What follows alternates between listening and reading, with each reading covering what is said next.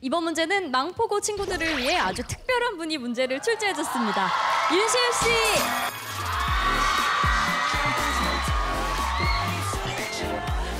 네, 안녕하세요. 수원 망포고 친구들 배우 윤시훈입니다. 꿈을 향해서 포기하지 않고 달려가는 여러분들의 모습이 가장 아름답고요. 저 윤시훈이 응원하겠습니다. 망포고 여러분들 파이팅입니다.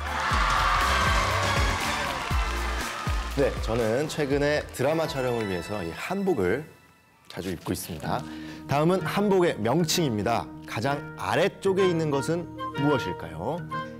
데님, 섭, 고름, 동정.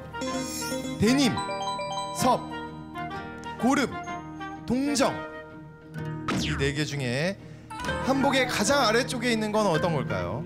데님일까요? 고름일까요? 섭일까요? 동정일까요? 답판 들어주세요.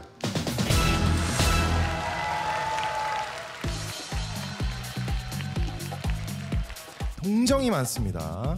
동정 아니면 데님. 데님. 자, 확인해 보겠습니다. 정답은 데님입니다.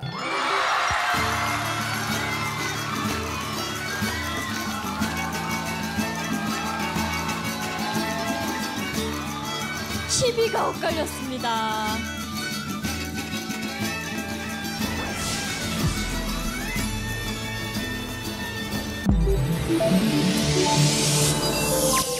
KBS